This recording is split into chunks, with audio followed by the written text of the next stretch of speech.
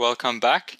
In the last video we talked about the difference of urine concentration in terms of salt and water for fish compared to um, mammals. In this video we're actually going to go over the difference between the concentrations and the form of nitrogenous waste in insects and mammals and also compare fish as well.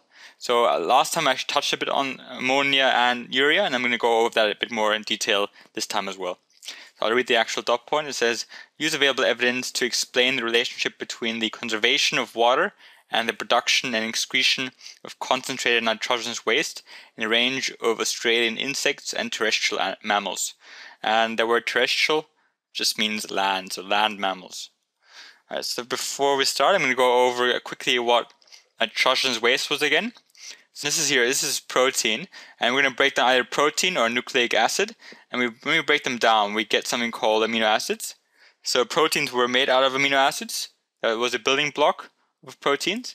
But the amino acids, they're gonna they contain nitrogen, so they contain nitrogen, and we will even um, break them down even further. We will break down amino acids even further, and when we do, we get something called the amino group. So these groups here. And that's the molecule that we have to get rid of. We have to get rid of this substance. And we can do it in one of three ways. We can either produce uric acid, urea, or ammonia.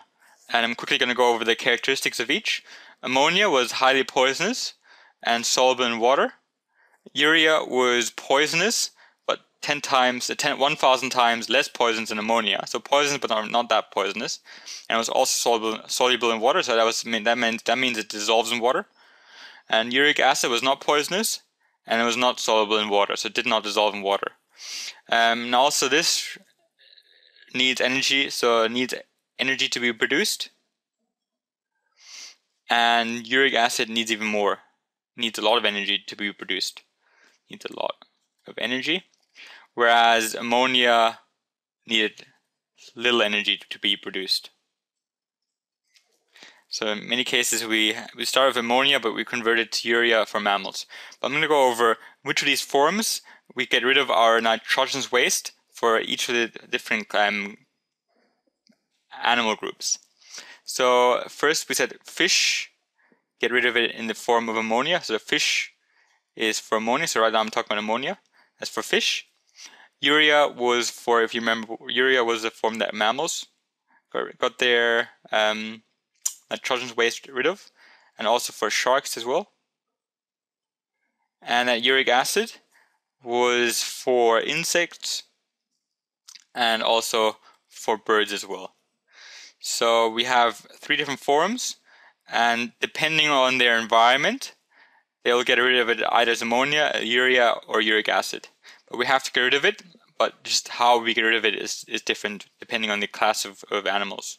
I'm going to explain why we need to get rid of it first and, and the now and how we get rid of it as well. So we said fish, they live in a very, very um, aquatic environment, lots of water around them. And they produce ammonia. And the reason why they can produce ammonia, so the benefit, the plus point of ammonia is that it costs little energy. It costs little energy. So they don't have to waste energy making urea or uric acid. But obviously, negative ammonia was very poisonous, so it was kind of deadly. So ammonia is deadly. But because fish live in a marine environment, and because ammonia is water soluble, so it dissolves in water, what that means is, imagine these pink molecules are going to be ammonia. So you can have ammonia building up in the body, but as soon as it, it gets produced, it can go. These are the gills here. It can go through the gills and out. Right. So one gets produced, and removed. One gets produced and removed. So even though it's poisonous, it's not too big of a problem because we can produce it and get rid of it for the gills immediately. Right? So fish get rid of it, get rid of, um, get rid of ammonia through the gills. So that's an advantage. So the disadvantage is poisonous, but that's not a problem for the fish because you can get rid of it really quickly through the gills and the advantage was that it cost little energy.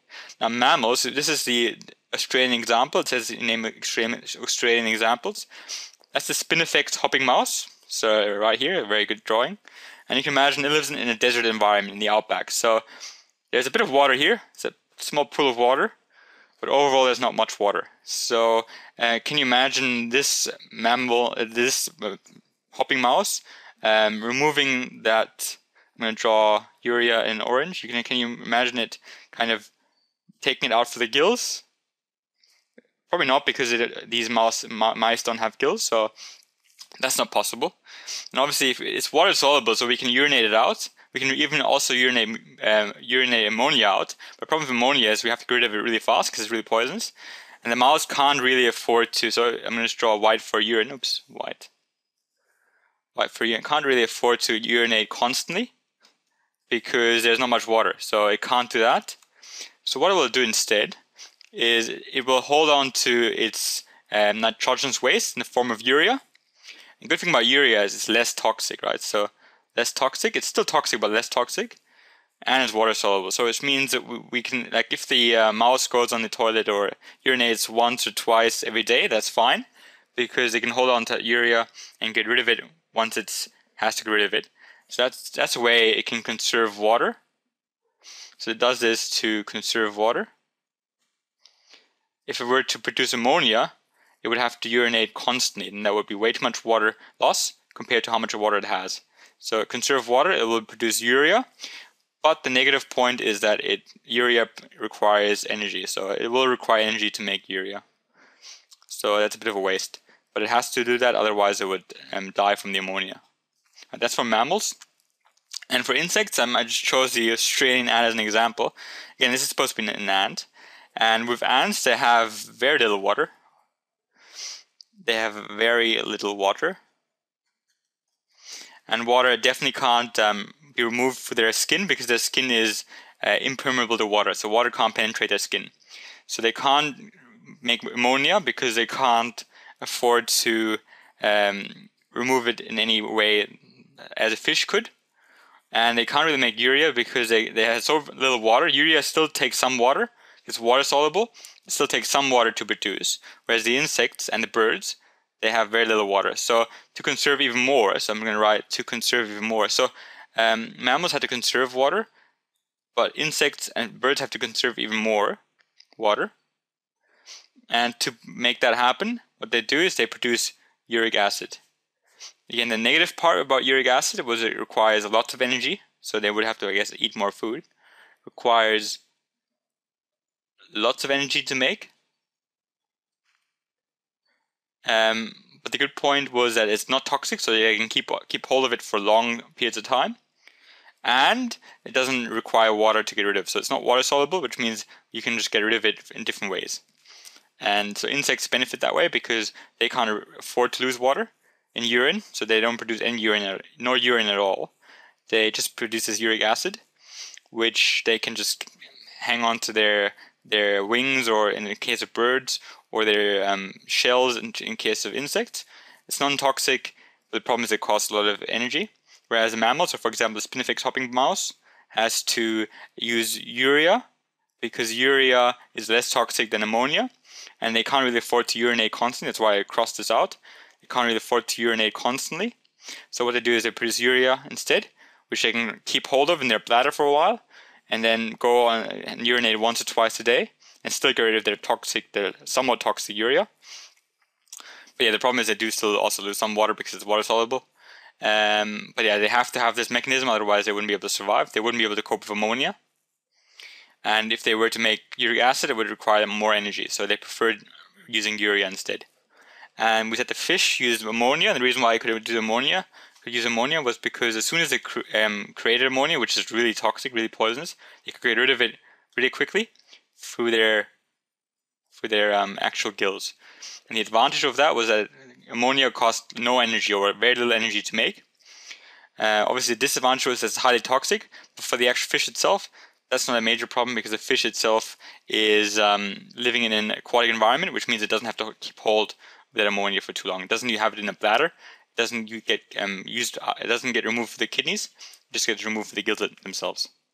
So hopefully that makes sense. But yeah, you need to be able to know maybe Spinifex hopping mouse and Australian ant as an example, and then why they produce um, uric acid, ammonia, or urea, how that's related to the, the dry environment they live in, or the wet environment in the case of the fish. So hopefully that was helpful.